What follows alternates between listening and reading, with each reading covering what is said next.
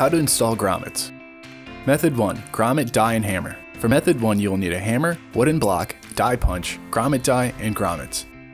Place the corner of your vinyl banner on top of the wooden block. Take the die punch and align it with the banner corner. Give it a few good hits with the hammer to create a hole.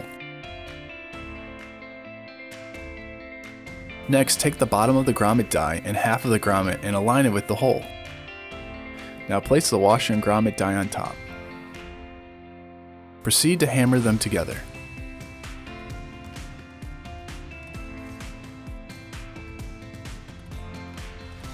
Method 2. Grommet press. The tools needed in this method include a grommet press and grommets.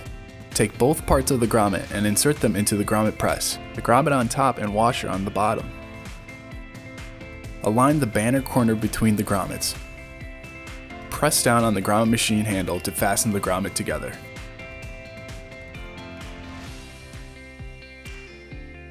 Method 3. Banner ups. In this method, you'll need banner ups, BravoTabs, and EZ Punch.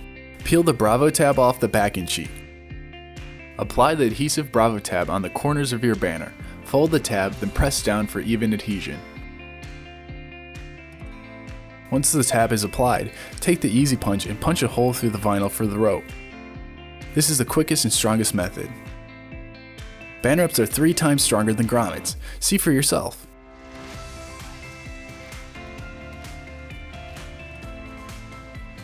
Try our Banner Ups discounted starter kit that includes everything you need to finish banners faster, stronger, and easier than grommets.